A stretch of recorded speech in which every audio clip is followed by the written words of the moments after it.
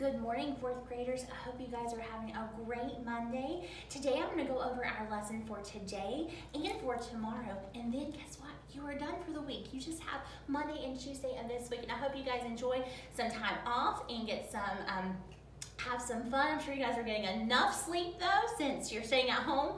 But let's start our new concept today over geometry. Now, some of these names and um, will be familiar to you and some will not. But let's go over this chart together. Now this is a point. You guys should know what that means. And then we have a line segment that has a beginning and an end.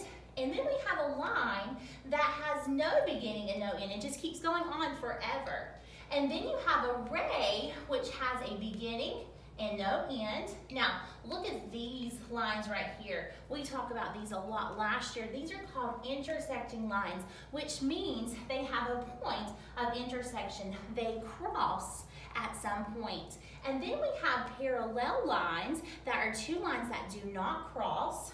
And then right here, do you guys remember what this is? This is an angle. And what this is, is two rays made up together. That makes an angle. And we know that angles have different degrees. And you're gonna learn more about that in fifth and sixth grade. But right now, you just need to know that this is called an angle. And it's two rays put together. And then we have a right angle. And do you guys remember what a right angle, what the degrees of a right angle is? If you said 90 degrees, you're exactly right. And then right here we have congruent angles. Now that word congruent means the same. So these angles are the same. Now, Right here, this is called a perpendicular lines, and perpendicular lines are lines that intersect, but when they intersect, they make right angles. If you look very closely on this chart, or if you look in your book, you will see how there's a box right there in the middle. And when you can make a box or a square like that, that means that there is, that's an angle that has 90 degrees. It's a right angle.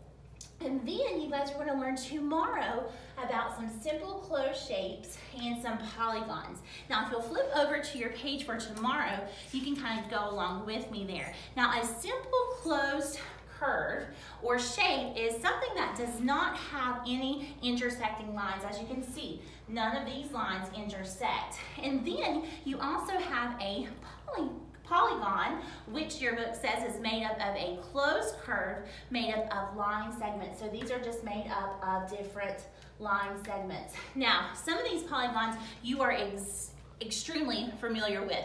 You learned those in kindergarten with Mrs. Haas. And so we know this is called a triangle. It has three sides. So it's a polygon that is made up of three sides. And then you have a rhombus. Now this one is a little bit probably not as familiar, and I like to call this, just kind of looks like a slanted square.